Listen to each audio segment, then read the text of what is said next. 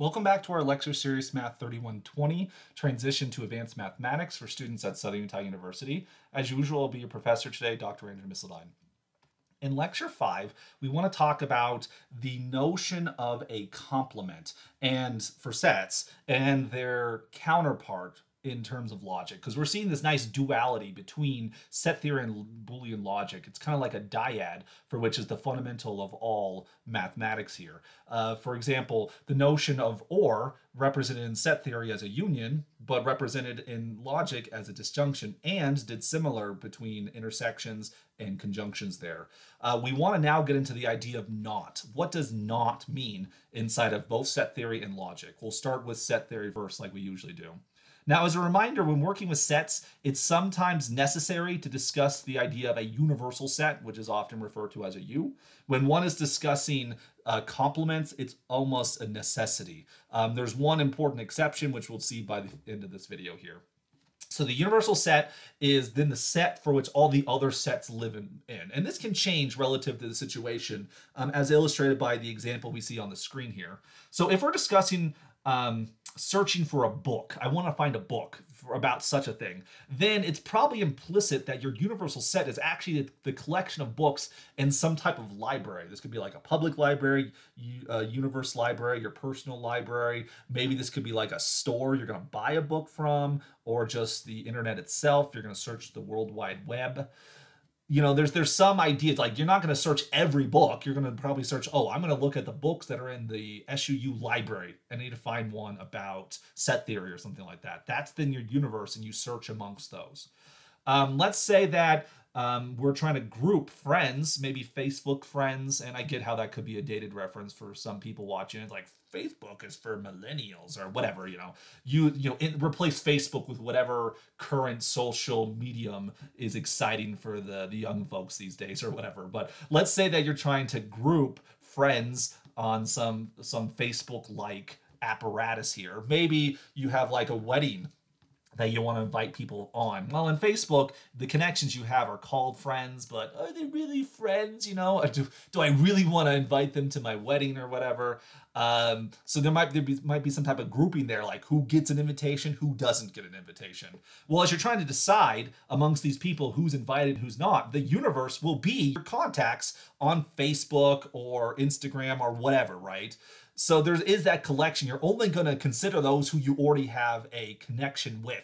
You're not just going to consider, oh, this random person, should I invite them or not? No, that's outside your universe there when it comes to contacts or a more mathematical one here, if we were working with a set of numbers, then that universal set is probably the natural numbers or the integers or the rational numbers or the real numbers, or complex numbers. Those important sets of numbers we talked about before are typically the universe of numbers when it comes to specific math problems. So it's important that we have a universe in, in, in, in our minds as we consider this problem of complement.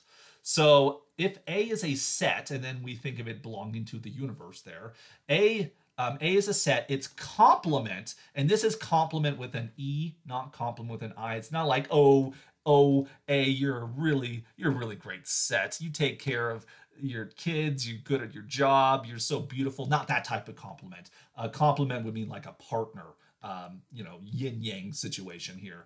Um, the complement of A, for which in our lecture series, we'll denote complements with a line over it, an overline there. This is not universal notation. Some people will use like a prime symbol. Some people use a superscript of a C, C for complement. Some people will use things like twiddle A or not A. Uh, there's there's no universal notation for complements. And I can give you some reasons why that is a little bit later in this video here. But the complement of A is the set of all elements in the universal set that are not in A. So you want everything that's not an A. And that's why the universe is important here. Because if you're asking what's not an A, like what's what, what's the limit? Um, Let's take, for example, the set A right here. The set 12579, that's a set A. What's not in A? What's its complement? Well, the number 3 is not an A. The number 10 is not an A. The number pi is not an A. The number 1 plus i is not an A. The number Pikachu is not an A, right? Um, you have to realize that my social security number is not an A.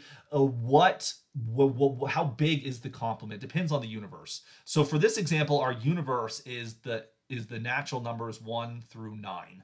And so the complement will be everything that's not an A. So as we go through this, notice 1 is an A, 2 is an A, but 3 isn't. So 3 belongs to the complement. 4 belongs to the complement because it's not an A. 5 is an A, so it's not in the complement.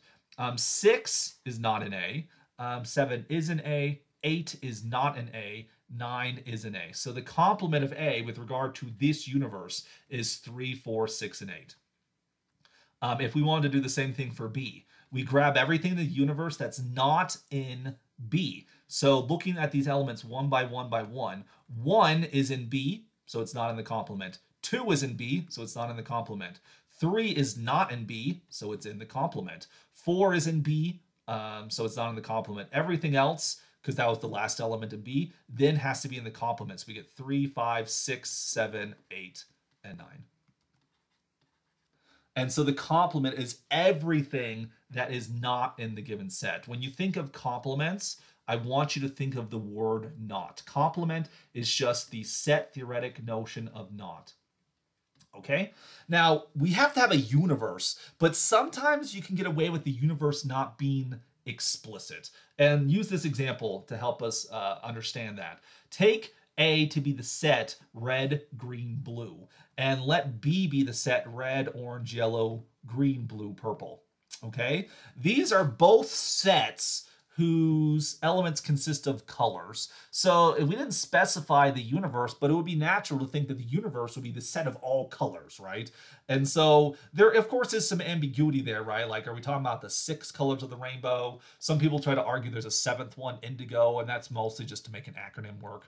Uh, but nonetheless, I mean, if you're like writing hexadecimal codes for colors, maybe you could have thousands of different colors in mind here. Uh, so just think of it as like the universal set is the set of all colors, right? Then we could ask ourselves, what is a complement? Well, we'd have to know every single color to be very clear about that. So we need more explicit universe in that situation. But what we could do is the following. We could ask, what does B intersect A complement? Now, be aware without specifying the universe, I can still define this set because what we're going to be looking for is we're looking for all colors X such that, and, you know, this intersection means and here. So I need that X is in B and we need that X is in a complement. So that's what the intersection means here, but the complement means not. So we're looking for all colors such that X is in B and X is not in A. And so I can look at the things that are in B and I can just remove the things that are in A. Okay, so when you look at B, the color red is in B, but it's also in green. It's also in A, so that's not in A intersect a, a B intersect a complement. So we wouldn't include red. What about orange though? Orange is in B, but orange is not in A, so orange belongs to this set. Um, similar for yellow. Yellow is in B, but it's not in A. Um, we could then look at green. Green is in A, so we won't consider that one. Blue is also in A, but purple isn't. Or violet, if you prefer. I guess some people consider those different colors. I will not get into that argument at this moment. Um, but so we get all the colors that are in B, but not in A. So in this case, in this very special case, we're able to introduce a complement without the universe, and we still were able to do this calculation. Because of this observation, this warrants a definition.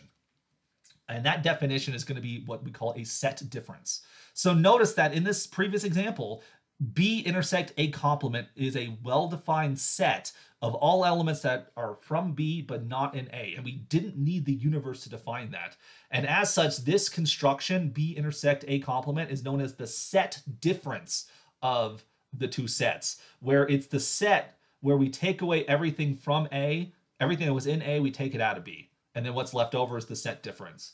No, the most common notation used for a set difference is something like this. You see like a B slash A, this downward slash. It goes from the top left to the bottom right.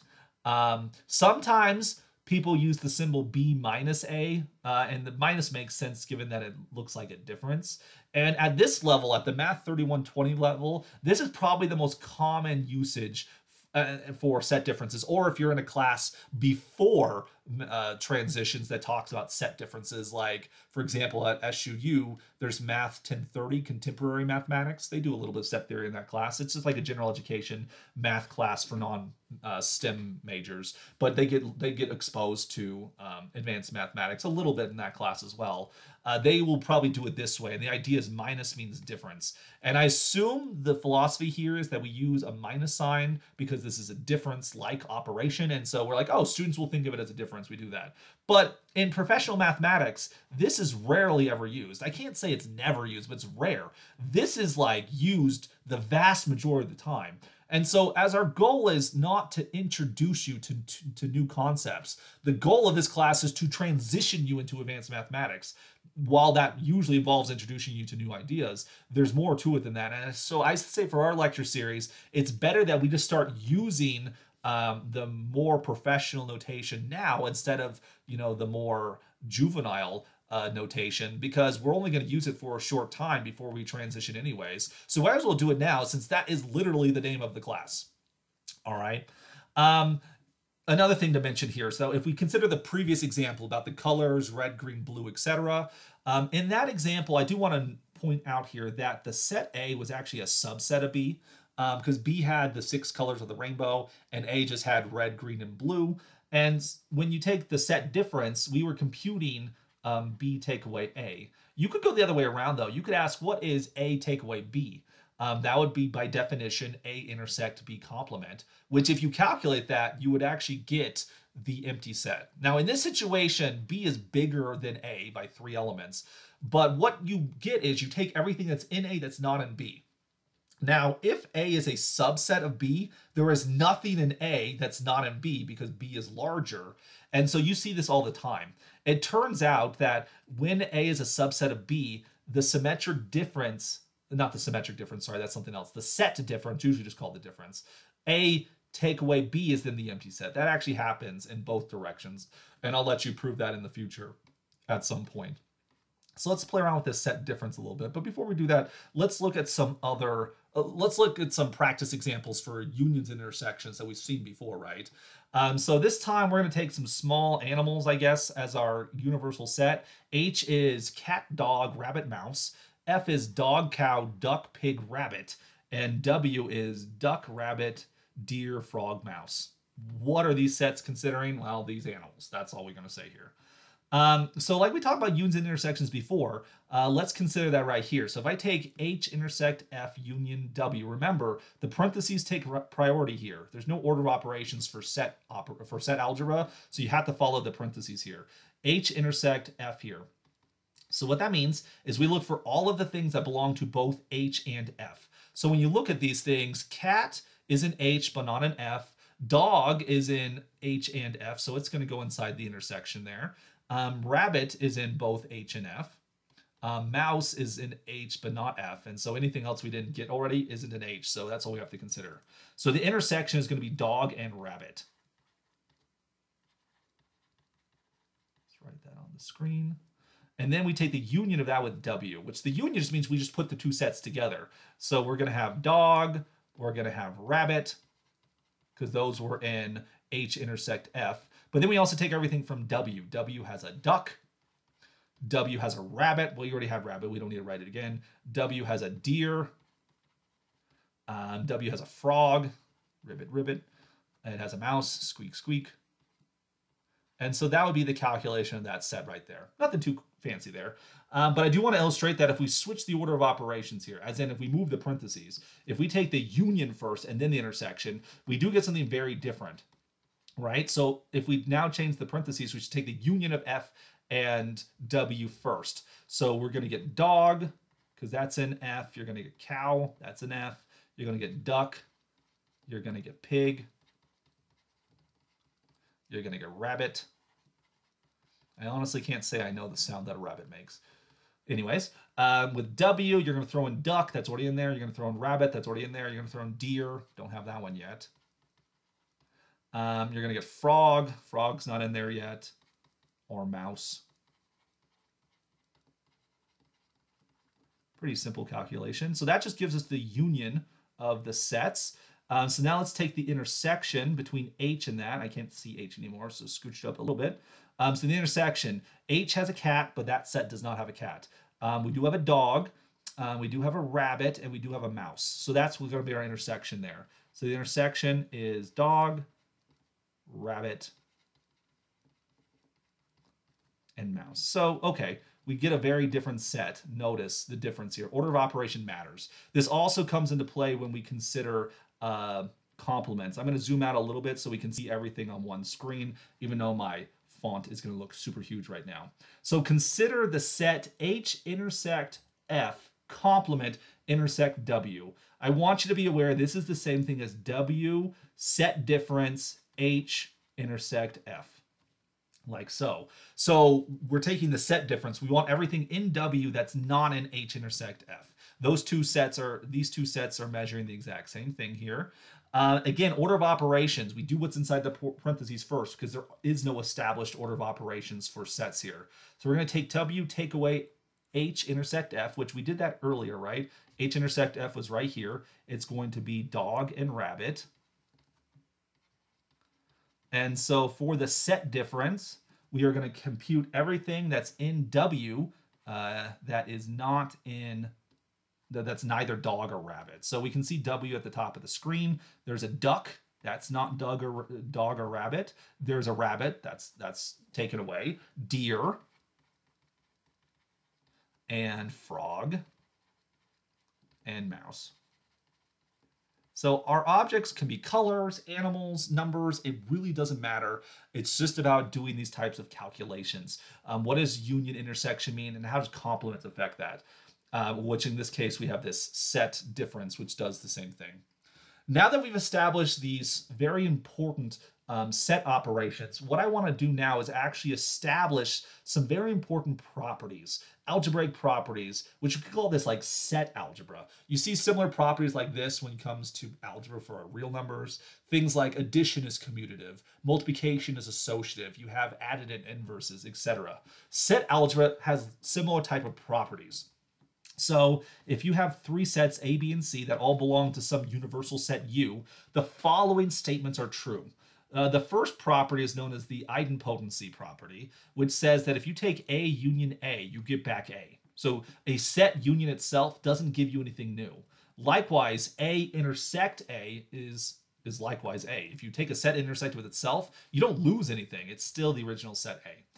Um, I, the identity property the union operation has an identity element and it's the empty set. A union the empty set gives you back A because when you unite with the empty set, you don't gain anything new. So the set did not enlarge.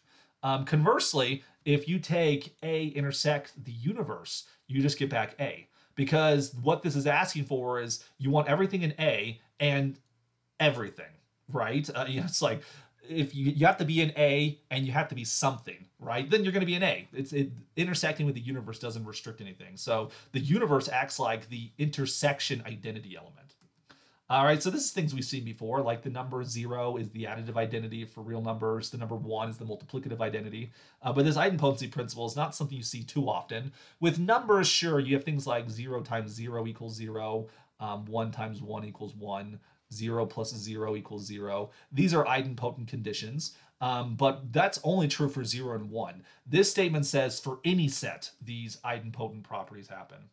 Also, we have absorption, okay? If you This is kind of like the opposite of the identity. If you take A union the universe, you get back the universe, right? And if you take A intersect the empty set, you get back the empty set because um, there's nothing in here. There's not, so there's nothing in both.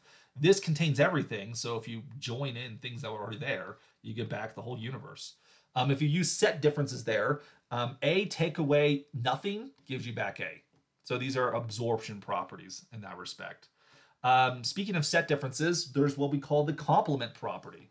The complement property tells us that if you take A union its complement, you always get back the universe. Because after all, you take things that are in A or not in A. Well, that's the only possibility. You're either in A or not A. You get everything back. Uh, conversely, if you take A intersect its complement, you get back the empty set. Um, also, if you take A subtract A, you get back nothing because you want everything that's in A that's but not in A. There's nothing that can do that. All right.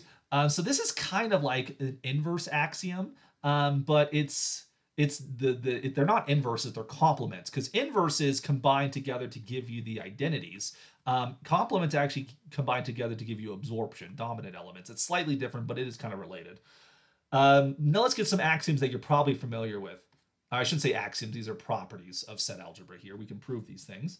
Um, there's the commutative property. So A union B is the same thing as B union A. The order in which you unite things does not matter. Same thing with intersection. A intersect B is equal to B intersect A. The associative properties also hold. That is, A union, the union of B and C, is the same thing as the union of A union B with C. Um, likewise, so you can move the parentheses around. So we're, uh, we're justified in not having parentheses when you have just combinations of unions. Same is also true for intersections. If you take A intersect the intersection of B and C, that is the same thing as the intersection of A intersect B with C you can move the parentheses around there. We also have the distributive properties. Now, the distributive property would be like for a, for multiplication and addition would be something like 2 times 3 plus 1. You can distribute the 2, so you get 2 times 3 plus 2 times 1. Um, and now multiplication distributes over addition. What we have for for the set operations is you have union distributes over intersection. So the the A union B intersect C is the same thing as A union B intersect A union C, like so. So the union distributes there, but it also goes the other direction. Intersections distribute over unions. And, and so A intersect B union C is the same thing as A intersect B union A intersect C. And this is the very reason why we don't have a order of operations for set algebra, because with real numbers, multiplication distributes over addition, and that's where we get the priority. But for set operations, the distribution goes in both directions, unions and intersections. So either one is just as prioritized as the other. And then the last um, set algebraic law we're going to mention here are known as the De Morgan laws, and they have to do with complements. Um, if you have the complement of the intersection, so the complement of A intersect B, this is equal to the union of A complement and B complements. So complements turn intersections to unions. And then likewise, if you take the complement of A union B, this is the same thing as the complement of A intersect the complement of B. So De Morgan's laws say that complements turn intersections to unions and unions to intersections. Now, many of these identities that we've we've saw on the screen a moment ago are fairly straightforward to prove, and many will be proven by you um, in the future. I'm not going to do them in this video right now, is what I'm trying to say here. But to illustrate the basic template for proving that two sets are equal, we're going to prove the distributive laws. That's one of the harder ones on this list, given it's near the bottom. Now, these are algebraic properties of sets, but in the end, they are just sets, okay? Meaning that this set is equal to this set. We've talked about this before. To prove that two sets are equal, we will show that they are subsets of each other. So there's two directions that have to play here. Um, so I'm going to choose this one right here, and we're going to prove that these two sets are equal to each other by showing they're subsets of each other. So to prove dist the distributive properties, we're going to first show that A union B intersect C is a subset of A union B intersect A union C. Now, this is a common thing that people can do in proofs. You actually tell us what you're going to do uh, because it might not be clear to the reader, mostly because there's eight properties involved here. And then with each of these properties, there's typically two identities. So it might, and then given an identity, there's two directions you have to go. So even though it's not mandatory, it is good practice to tell the reader what you're going to do when there might not be, it might not be clear what's the next thing to do. So it helps give the reader an expectation what's following. So the first thing we're going to do is we're going to prove this. A union B intersect C is a subset of A union B intersect A union C. Now to prove that this set is a subset of the other, we're going to start with an arbitrary element over here and prove that it belongs to this set right here. So we take an arbitrary element of A union B intersect C. Well, a union means that X belongs to one of these two sets. It could be both, but it has to belong to at least one of them. So X belongs to the union either because X belongs to A or X belongs to B intersects C. Now you have two possibilities, and I can't say it's one or the other. I don't have enough information because X is an arbitrary element and ABC are arbitrary sets. So I have to actually consider both possibilities. And so there's two cases and I'll just consider the two cases individually, starting with the first case. Um, if X belongs to A. So that gives us more information about X now because we have this extra assumption that if X belongs to A, well, consider the set A is a subset of A union B because A union B is everything in A or in B. Well, if you're in A, then you're in A, and so you're in A or B. So the union only enlarges the set there. Um, that's also true that A is a subset of A union C for the same reasons. Now, since X belongs to A, and these are two larger sets, this tells us that X belongs to A union B because it belongs to A, but also X belongs to A union C because it belongs to A. And since X is in both of them, it means that X is in the intersection between A union B and A union C. That's the direction we want to go. So if X is in A, then it belongs in the, to the, it belongs to the set we're trying to get. That was the first possibility. Well, the second possibility is that X belongs to B, B intersection C. Well, if X belongs to B intersects C, intersection is and. So I can actually say definitely if X is in B intersects C, then X belongs to B and X belongs to C. Now, since X belongs to B, you can enlarge B by looking at A union B, and therefore X belongs to A union B. Um, it's also true, though, that since X belongs to C, that you can enlarge C to a bigger set. If X is in the small set, then X will have to be in the larger set. So X belongs to A union C. And so since X is in A union C and it's in A union B, that means X will belong to the intersection of A union B and A union C. That's the set we're looking for here. And so in the second case, we get inside the set. So in either case, we get that X belongs to this set. And so that shows us that the original set, which X was an arbitrary element of, uh, is contained inside the larger set. All right, let's go in the other direction. Now let's show that A union B intersect A union C is a subset of A union B intersect C. It's the same approach as before. We're going to take an arbitrary element of the first set. We'll call it X. And so X belongs to A union B intersect A union C. Since this is an intersection, um, X belongs to both A union B and A union C. X belongs to A union B and X, union, uh, X belongs to A union C.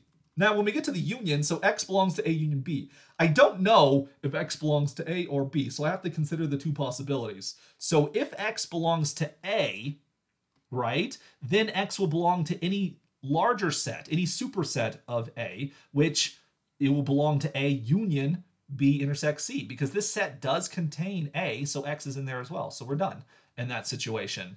Now, because so if x is if x is an a then we know it's where it's supposed to be. Now if x is not an a because it's got to be one of those two situations. In logic this is what you call a disjunctive syllogism. It's about an or statement. X is either an a or it's not an a. If it's an a we're done. We, we proved it. So now let's consider the other possibility. X is not an a. Well since x belongs to a union b if it's not in a then it has to be in b. But likewise if since X belongs to A union C, if X is not an A, then it has to belong to C. So in this situation, we know that X belongs to B, and we know that X belongs to C, which means that X belongs to B intersect C.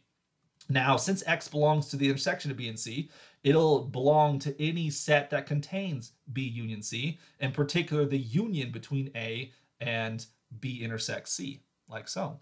And so since X belongs to that, that's the set we're looking for. Um, and so in all possibilities, if X belongs to the first set, we then get it belongs to the other set, and that then shows the set containment. Since we showed containment in both directions, that implies the two sets are equal to each other, and that then establishes this identity. Okay? Oh, so that was kind of a hard one for us at this point. Uh, I promise this will feel easier in the future, but for right now, this might feel overwhelming. Well, that's because we're still very much beginners in proving things, but I did illustrate some important points here. In particular, how do you prove that two sets are equal to each other? Show that they're subsets of one another. That is a template that we've already learned. Now, seven and eight are definitely the hardest ones on these lists, but try proving some of these earlier ones. Like, can you prove this identity using uh, the template we have for proving two sets are equal, or this one, or even this one? One through six are not anywhere as close to difficult as seven and eight. So I would encourage the, the viewer here to try to prove some of these identities to practice your set proving capacities.